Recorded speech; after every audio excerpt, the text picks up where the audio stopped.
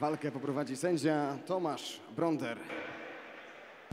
Przed nami pierwsze z trzech pojedynków dzisiejszej gali Slugfest 7, w którym zmierzą się kobiety. Naprzeciw siebie stoją już reprezentantka, Słowacji Alena Gondasowa i Adrianna Bosacka, która walczy w tym takim seledynowym stroju w narożniku czerwonym.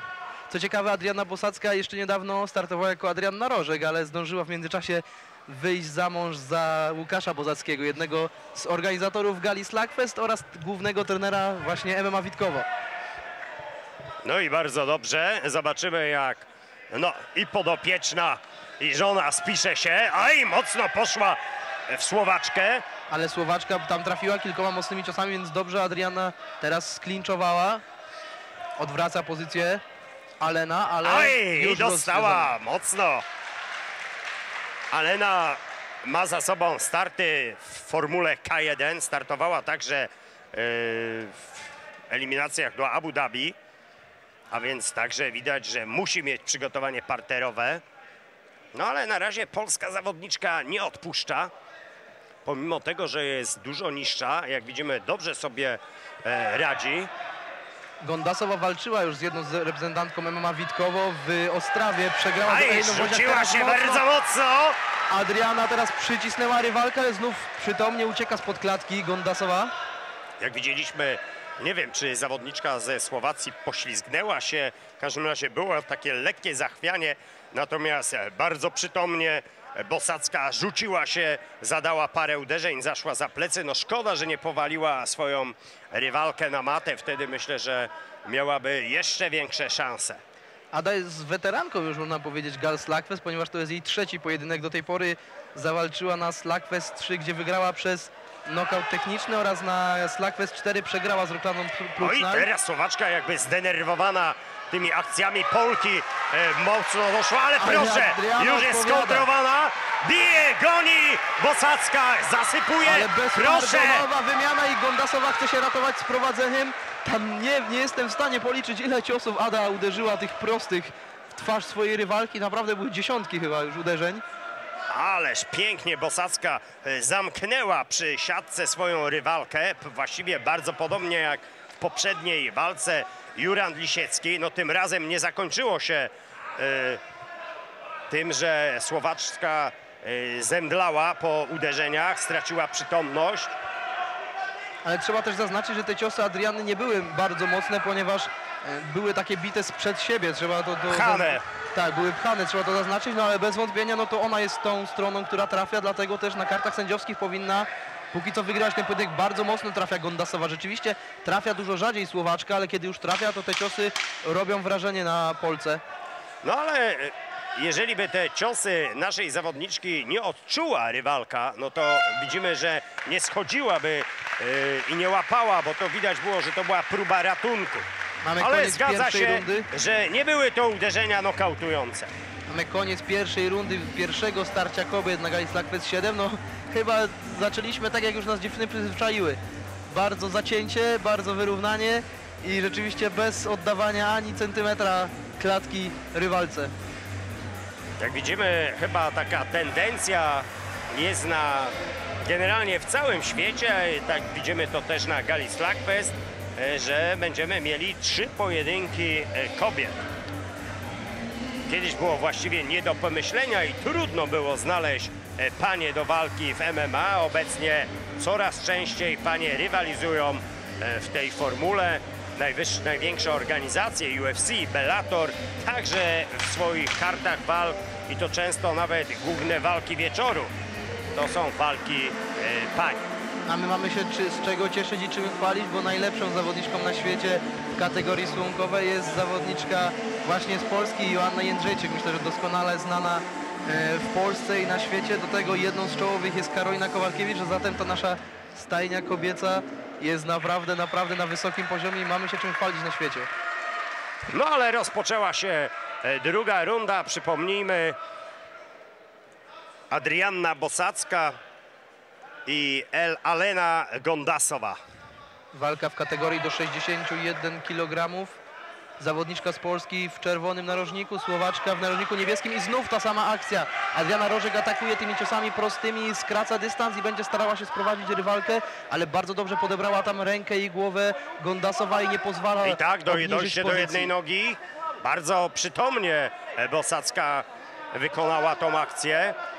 I proszę, Odwraca pozycję jednak- Gondasowa, ale wraca Adrianna pod siatkę ze swoją rywalką, ale już nie ma tego zagrożenia sprowadzenia. Bardzo dobrze wybroniła to Gondasowa, teraz musi tylko uciec z niekorzystnej sytuacji i to przekręcić naszą zawodniczkę i ją zacząć atakować.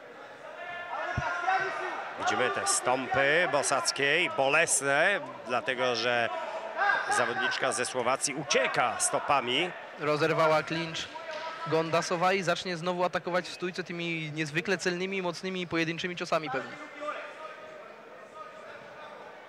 Tak, widać, że Słowaczka ma więcej doświadczenia w walce e, w stójce. Słyszymy podpowiedzi narożnika Bosackiej, który mówi, że jej nie wolno stać, musi krążyć cały czas lewo-prawo. Teraz bardzo mocny front na ciało Aleny Gondasowej. Bosacka teraz ratuje się, a ta idzie do przodu. Chce trafiać kolejne ciosy, ale to Gondasowa chyba zraniła trochę naszą reprezentantkę. Cios za cios, teraz bezpardonowo. Dzie dziewczyny wymieniają ciosy. Wydaje się, że Gondasowa zdobywa lekką Tak. przewagę. Cios za ciosem. Ta prawa, Wielokrotnie uderzyła polską zawodniczkę. ta prawa ręka bardzo dobrze tam pracowała, trafiła trzy albo cztery takie mocne ciosy tylną ręką właśnie. Gondasowa odpowiedziała Bosacka kilkoma uderzeniami, ale bez wątpienia to na Polce zrobiły większe wrażenie ciosy Aleny. Na pewno ten fragment walki należy do zawodniczki ze Słowacji. Co gorsza, cały, cały czas y, Alena ma przewagę. Jeszcze raz próbuje tym frontalnym kopnięciem, ale Bosacka dobrze wychwyciła i teraz Jest! tak jest. Haczeniem przewraca swoją rywalkę i ma pozycję z góry, od razu ląduje w pozycji bocznej Bosacka. Zobaczymy, jak dalej e, potoczy się akcja. Pół minuty dla Adriany na to, żeby zbudować taką przewagę, aby sędziowie nie mieli wątpliwości, komu przyznać tę rundę. No musi, musi Bosacka coś robić. Tak jak powiedziałeś, musi zrobić coś, aby zdobyć w oczach sędziów dużą przewagę, dlatego że większość tej rundy no, nie wyglądała dobrze. Ostatnie 10 sekund próbowała przed chwilą Bosacka przejść Teraz do... parę mocnych ciosów, Próbowała przed chwilą dojść do ale dosiadu niestety Bosacka, ale chyba wydaje się, udało. że zbyt krótko miała tą przewagę. Uśmiechnięty i zadowolony narożnik Gondasowej, więc chyba oni są przekonani o tym, że to zawodnicz, za- że to Słowaczka prowadzi w tym pojedynku. No, jednak zdziwiłbym się, gdyby było inaczej. Dobry narożnik to ten narożnik, który zrobi wszystko, aby ich zawodnik wygrał, a do tego należy właśnie mieć nawet dobrą minę do złej gry. Ale oczywiście w tym przypadku, e, tak jak powiedział e, Dominik, Słowacy mogą być zadowoleni, dlatego że Alena bardzo dobrze rozegrała tą rundę. Zobaczymy, która z zawodniczek lepiej zniosła trudy pojedynku. Przed nami za chwilę trzecia runda, która prawdopodobnie zadecyduje o wyniku tego pojedynku, dlatego też obie zawodniczki muszą być niezwykle czujne i to od tego, która z nich narzuci swój styl walki, będzie zależało, który, której ręka w górę powędruje zaraz po ostatnim gongu w tym pojedynku. Z całą pewnością Bosacka musi skracać dystans, musi być blisko swojej rywalki, tak, dlatego, że widzieliśmy, że kiedy daje rozwinąć się Alenie, kiedy te długie ciosy proste zaczynają uderzać, e, no niestety, ale ta jej przewaga e, zdecydowanie topnieje. Ostatnie trzy minuty pojedynku w kategorii koguciej kobiet na, w czerwonym narożniku Adriana Bosacka, reprezentantka MMA Witkowo, a w niebieskim narożniku Alena Gondasowa, Słowaczka, która reprezentuje Free Fight Club Detwa. Teraz przejęła kontrolę w centrum klatki Gondasowa. Będzie starała się ustawić sobie dystans i zaatakować znowu pewnie tymi kopnięciami długimi, prostymi swoją rywalkę. Bardzo dobrze chodzi na nogach Gondasowa. Widać ten background właśnie z kickboxingu. Super ustawia sobie naszą zawodniczkę pod kolejne ciosy. Póki co jeszcze nie uderza, ale e, Adriana nie może się tak cofać, bo to cały czas działa na korzyść zawodniczki ze Słowacji. Teraz przechwytuje znowu nogę. Czy uda się Adrianie sprowadzić Do do... siatki, Teraz musi wyhaczyć właśnie tak jak przed chwilą próbowała nogę. Gondasowej Aj, nie, nie udaje udało się. się. Bardzo dobra obrona Słowaczki. Zobaczymy, czy Adriana teraz zdecyduje się na to, żeby właśnie dociskać zawodniczkę i atakować tymi kolanami, czy może znów pójdzie po jakieś sprowadzenie. No powiedzmy sobie szczerze, że była to doskonała akcja, aby e, zdobyć przewagę. No dziwi mnie, że e, trzymając jedną nogę nie potrafiła wywrócić swojej rywalki. Nie wiem, czy te umiejętności zapaśnicze bosackie jeszcze są zbyt małe, czy być może właśnie warunki fizyczne e, Słowaczki są takie, że nie potrafiła tego zrobić. nie przestaje atakować tymi stąpami na śródstopie Bosacka. To jest może nie bardzo e, mocna technika, ale naprawdę nieprzyjemna. Takie obite śródstopie przeszkadza w poruszaniu się w klatce, co w przypadku Gondasowej, którą widzieliśmy właśnie świetnie pracującą na nogach, może być kłopot w dalszej części pojedynku. Minęła już, minęły już prawie dwie minuty tego starcia. No i nie, nie widać e, przewagi, zdecydowanej przewagi żadnej z zawodniczek. Myślę, że Gondasowa teraz właśnie tak, będzie starała się rozerwać clinch, ale póki co dociska Bosacką do siatki. Czy teraz ona spróbuje, może zdecyduje się na sprowadzenie? Nie, nie, nie. Musi popracować trochę ciosami Gondasowa, bo jeśli e, nie zobaczymy za dużo, za dużo akcji w tym pojedynku, no to sędziowie będą musieli zadecydować, że to ten clinch jest głównym, główną bronią w, w ostatniej rundzie tego trzyrundowego pojedynku i mogą przyznać tę rundę dla Adriany Bosackiej. Kolejne stąpy lądują na śródstopiu Aleny Gondasowej.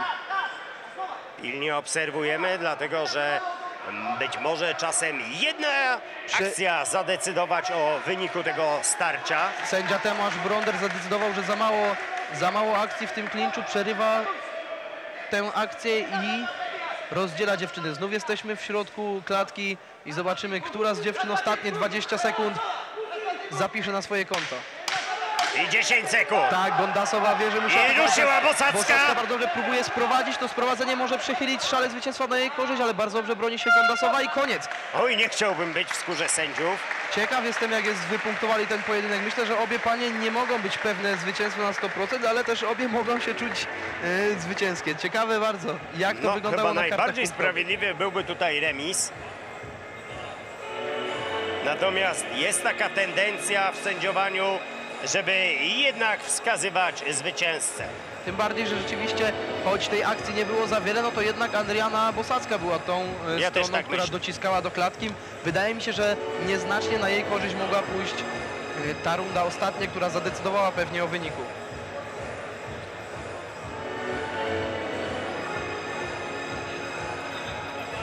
Jedno jest pewne, na pewno e, nikt nie nudził się trakcie tej walki. To już trzeci pojedynek, który naprawdę jest bardzo dynamiczny, bardzo ciekawy dla oka. Teraz posłuchajmy oficjalnego werdyktu tego pojedynku.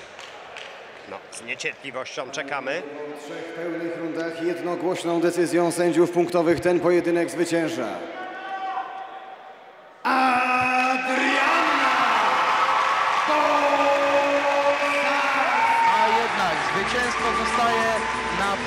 Polskiej ziemi 3-0 dla Witkowa póki co. Adriana Bosacka wygrywa przez decyzję sędziów. Ciężki pojedynek, bardzo trudna rywalka, no i wielkie brawa dla polskiej zawodniczki Adrianny Bosackiej.